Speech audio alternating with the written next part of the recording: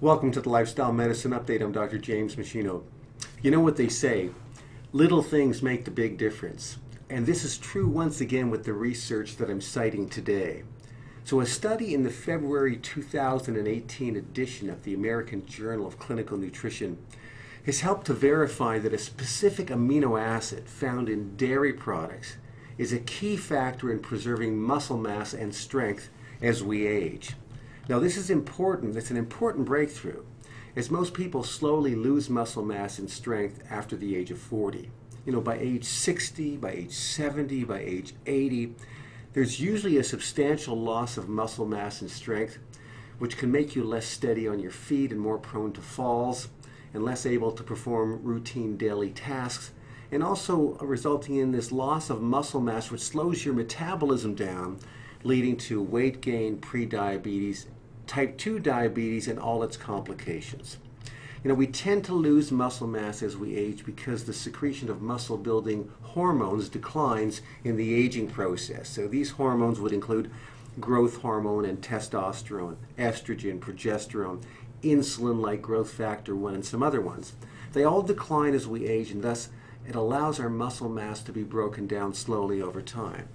However, there's an amino acid in dairy products known as leucine that has been proven to turn on muscle protein synthesis, even in older persons, reversing age related muscle loss. Now, even in people who don't exercise, the ability of leucine to turn on what's called the mTOR pathway within the muscle cells stimulates muscle protein synthesis to occur, reversing muscle loss and increasing muscle strength.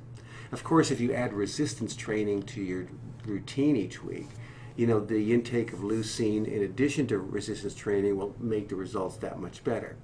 So how much leucine do you need each day and where what sources should you get it from?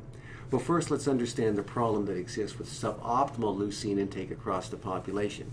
As people get older, they tend to ingest less and less protein and less and less leucine each day, often having only one meal a day that contains a meaningful amount of protein and leucine, and that's usually at dinner time.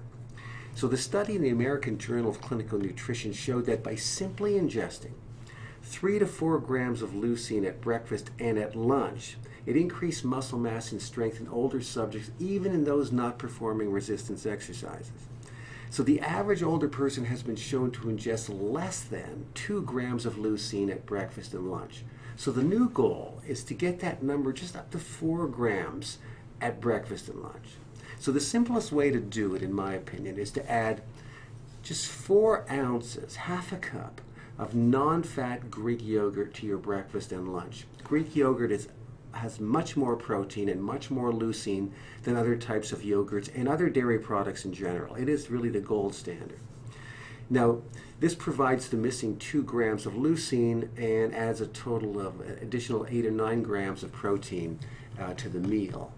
Now, the other way to add leucine that I really like is to ingest a whey protein shake each day.